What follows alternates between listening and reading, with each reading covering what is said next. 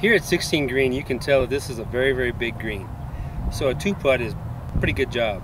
Just remember this green doesn't doesn't have many undulations. They're very subtle. So if I was putting, I'd concentrate more on distance than direction. Because if you can get the right distance, it should be an easy two putt.